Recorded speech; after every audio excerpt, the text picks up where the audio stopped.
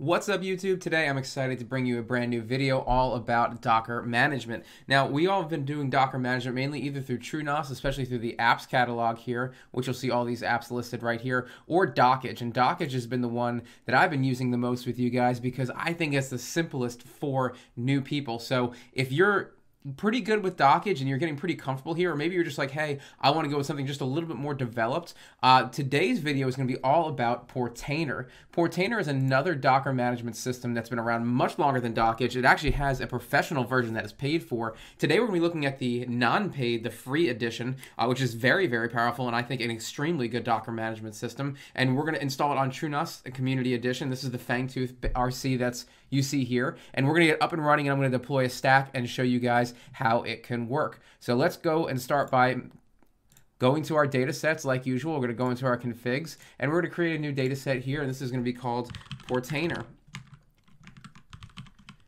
Now, Portainer is a little bit different in that it runs as root. It does not run as 568. So the data preset we're going to use is going to be generic. We're going to turn the pool list here. So you'll see Portainer here is just running as root, and root has read, write, and execute permissions. And that's fine because that's what Portainer is going to run as. So let's come over here to our apps. Let's discover apps, and then let's search for Portainer. This is Portainer from the Community Edition. So you'll see some screenshots and stuff here. And we are going to install this Portainer Community Edition. And again, you have the Enterprise Edition. If you use the Enterprise Edition, just know that that costs money. The, the network port here, it by default usually runs a 9443, so that's what we're going to use. Okay, the data for Portainer data storage is going to be the host path we just created in configs Portainer, like that. And we are done. Let's install.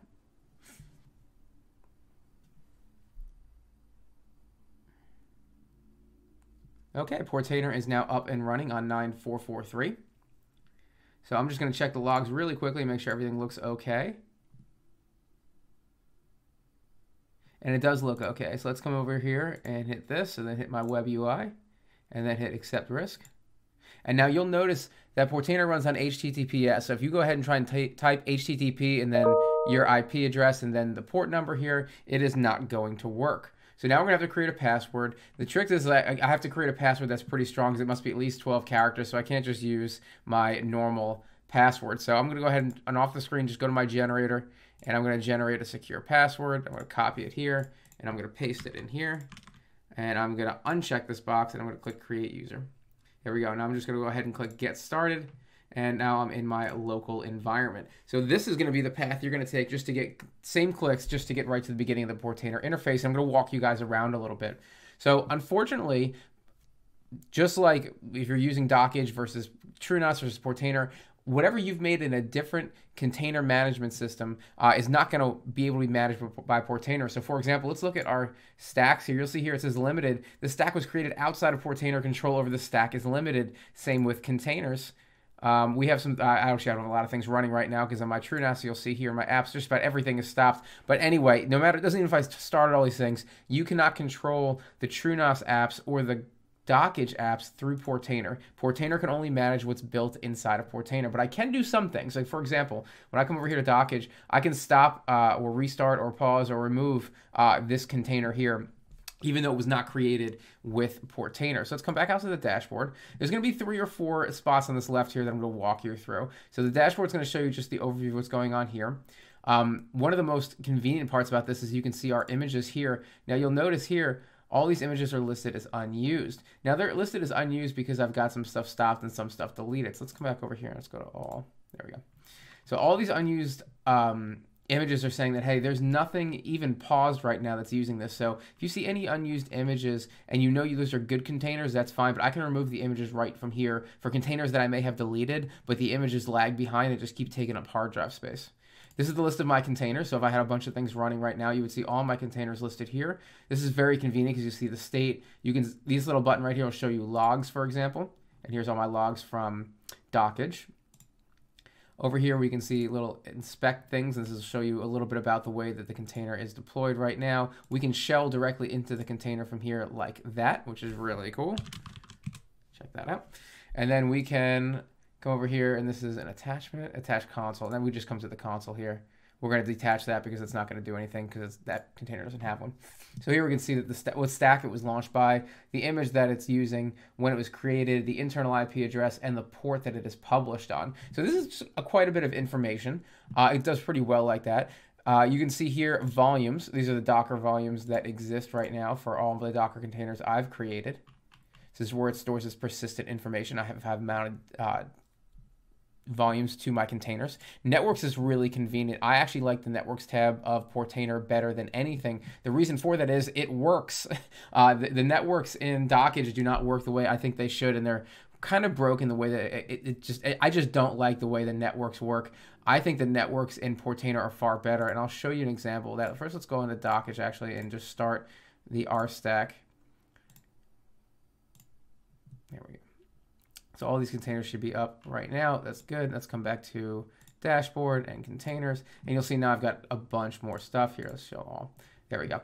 So for example, the reason I like this is because if I come to Sonarr, for example, this is going to show me what is in the Sonarr container that's running, running for a few seconds. Uh-huh. Shows me all the containers. This is 8989. This is where it's running. We can see the GIDs and PIDs to make sure I know it's running as apps all kinds of information here that you're probably never going to look at. This is pretty cool. You know, you can adjust the restart policy right from a drop down. I always have everything to unless stop, but if that's not for you, that's cool. These are the volumes that I mounted. So this is the config volume, for example, mount tank stacks, my configs directory, my media directory, and where it's mounted to both outside the container and inside the container. Really cool. This is the section that I like the most, connected network. So you'll see the RStack default is where it is connected, but I could add a network right here, for example. So if there's another network that I want to add, I can just click it. Like for example, the Dockge network, and I can click join network. And just like that, my container, I'm going to scroll all the way down, is now on two different networks. That's really cool. How about what's going on in the RStack default? This is what's in the RStack network. Look at all these containers. So it's really cool because I can kick a container off this network if I wanted to. I don't want to, but if I did, uh, I can do that. Or if maybe I created another network that I want to join these containers to, that's great. What about what about a Cloudflare tunnel? If I want to use Cloudflare tunnels and I want to refer to the container by the container name instead of the IP, I can put the tunnel in this network instead of moving all the other uh, containers. It's probably easier just to add the tunnel to this network and be done. So this, I think the networks tab is probably one of my favorite parts of this. But the stacks tab is going to be where you're going to spend most of your time. So when we do a stack here, this is going to be how we do our Docker Compose. So if I come over here to the wiki, for example,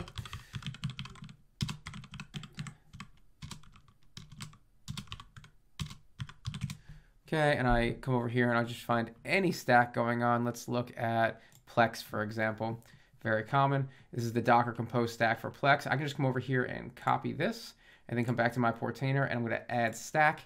And here I'm going to call this Plex. This is where my stack name is going to be listed. I'm going to come down here and paste my YAML file. And this is everything that's down here. I'm just going to leave it just like that, except for the fact that I'm going to change this because I don't have any of these directories created as far as I remember. Oh, actually, I think I might, but I don't want to use them. And that's good actually for my media folder. Okay. If you wanted to add environment variables or load variables a file, you can click this and you can upload the environments variable files that you have, or you can just do an environment variable one line at a time. Really cool. Pretty much similar to Dockge. I'm going to leave it to that. Um, I'm going to remove this so I can deploy the stack. So now my deploy stack button is blue. I'm going to click deploy and it has now deployed Plex. So let's come back over here to my containers. And here's Plex. Plex is starting up. We can go ahead and look at the logs and we can see it's starting and doing all of its thing. Let's come back to containers. And Plex should be up and running here, and these are all the ports that it's up and running on. And you can see we published a bunch of ports. Um, I forget what port it runs stock. I think it's 32400. And of course, here's the issue. When I click it, doesn't actually take me to it. So I have to go and edit this here. There we go. So here's Plex up and running and it pulled some of my information before. But there, there you go. So that's that's pretty much a really easy way just to deploy Docker Compose files. And now because I manage this through Portainer, I have a lot more control. So I can see stacks here. Control is listed as total. So I can make tons of changes here to Plex. This is where Plex is. You can see the ports and you can see all these things. I have the option to migrate or duplicate, delete, stop. There's all kinds of cool things here. So let's start by stopping the stack. I do want to stop it. Cool. It's stopping my stack. Now you see this little blue bar across the top. This is the loading bar pretty much tell me what it's doing. So I'm to come back out to stacks right here. And you can see Plex is listed as inactive because it is stopped. I can come back out to my stacks or my containers. And here, where are you? Plex is not listed because I don't believe it's running. And that's because now it's stopped. It's not listed as a container anymore. So let's come back out to my stacks and I'm going to delete this stack, remove just like that. Yes, I do want to remove that stack and it is done. The images are still here. Um, and you can see now a bunch more of my images are now used because I have started a lot more of my apps. And my volumes also should show more use, but some of this looks like stuff I probably used for testing videos before for YouTube and have since removed. So that's pretty cool. So this is a pretty just quick, good overview of what it's like to use the dashboard and what it's like to use some of these for Portainer this is not a very hard thing to use. If you're just basically doing Docker Compose, you're going to spend most of your time in containers and stacks. You really don't ever have to touch images or networks or volumes if you don't want. This is just pretty much just for managing stuff and managing data on the host. You can get by with doing nothing more than deploying stacks from here and then messing with your containers from here. It's that simple. So it's not a super difficult uh, interface. I think it's a lot busier, which again, when I look at something like Dockge, Dockge is just a little bit more simple in my opinion in terms of what it's showing you. Um, I also like the way they put this all on one screen. So, for example, I can see my compose file at the same time that I see all my containers. At the same time, I can, can see my terminal. On Portainer, I have to be able to click into those things to see all of them at the same time. So I kind of like the view that Dockge gives me. It's my personal choice, not because it's the more powerful of the two. It's not. It's actually less powerful, but because of the way that it displays the data to me, I just personally like it. But there is nothing wrong with Portainer, and in fact, I run both. And the reason I run both is for the Networks tab, because in Dockge, the Network section down here, uh-huh, come back up. Let's edit the stack. When I come over here, the Network section is not really great. Um, in fact, I don't like this network section at all. I don't like the way this does the, what it does. I also I like the .env a little bit, but I kind of like sometimes in Portainer. For some containers, they'll let you download a .env. Uh, if that's the case, for a container in Dockge, I would then have to copy that env file out or manually paste it into the directory of the stacks. For Portainer, I can just do a straight upload for stacks. Uh, when I do it add a stack, I have the option to just deploy, uh, add it right here in my in from a file. So I think that's pretty cool. But this has just been a really quick overview. I hope you guys really liked it. I hope you guys get to play with both, install both, play with both of these things. They're pretty amazing. Uh, just get used to using them, and the more containers you get good at, the better and more fun this is going to be. If you like what I'm doing, please like and subscribe to the channel. If you have questions, leave them in the comments below. Uh, if you really want to support me, please buy me a coffee.